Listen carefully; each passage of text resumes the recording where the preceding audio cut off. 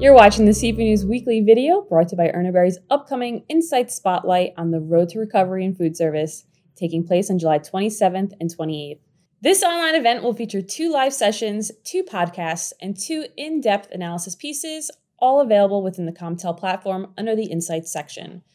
COMTELL subscribers already have access to the Spotlight, but non subscribers can register to gain temporary access to COMTELL and the free Insight Spotlight.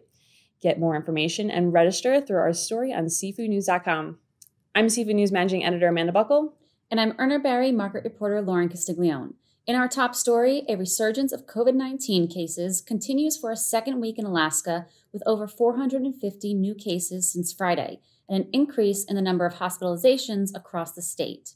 But fishing communities that dot Alaska's coastline are having very different experiences with keeping the virus at bay. Sitka Fire Chief Craig Warren said that both unvaccinated and vaccinated people are contracting COVID, but Sitka's unvaccinated population of around 2,000, which does not include children under 12, is experiencing three times as many cases in the same period. Cordova is experiencing similar cases. Both communities are encouraging people, whether they are vaccinated or not, to wear a mask and keep a six foot distance from others. Meanwhile, the fishing communities mm-hmm. like Dillingham and Petersburg have relaxed mask mandates and quarantine restrictions. In other news, Vietnam is the latest country to enact emergency restrictions following a new spike in COVID 19 cases. Vietnam has been reporting over 4,000 new cases daily since July 15th. Now, provinces in southern Vietnam are applying Directive 16, which the government enacted to tackle the rising cases. Directive 16 mandates the closure of non essential businesses and restaurants and bans public gatherings and severely limits transportation services. While seafood processors are considered essential businesses, the closures still have a pretty big impact on them. Factories must provide production in place, eat in place, and sleeping in place for their workforces. Those that cannot provide these three things must halt production.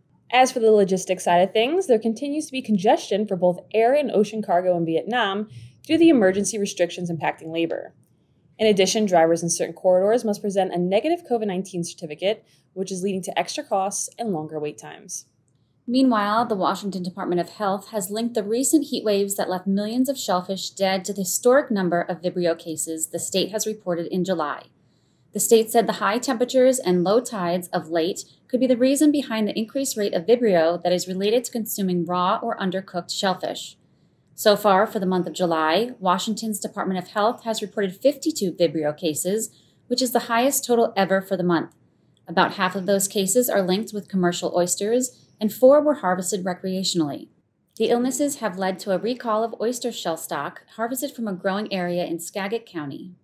And finally, Long John Silver's has become the first seafood chain to feature plant based seafood thanks to a partnership with Gathered Foods, the manufacturer of Good Catch plant based seafood products.